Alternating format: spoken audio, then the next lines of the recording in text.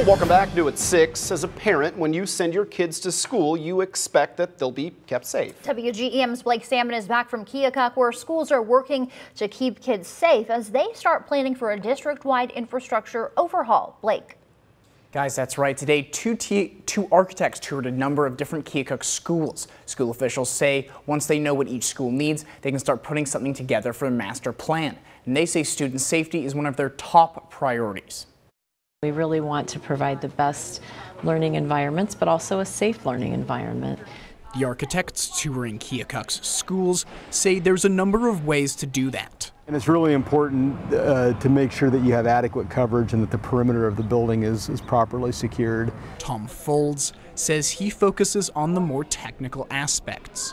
Things that I'm looking at are card reader locations, um, door monitoring to make sure that if a door is jammed open, that there's a way of identifying that door, uh, camera coverage to make sure there's adequate coverage inside and outside of the building. Josh Ridgely says the building's layout is equally important. Uh, when visitors come to the building, you want to be able to control their access into the building. He says it's something older schools struggle with. You know, all exterior doors are locked, and then there's one single point of entry for pretty much all visitors that come into the school facility and they check in with somebody. Superintendent Christine Barnes says today's tour of Hawthorne, Torrence, and George Washington is only the start.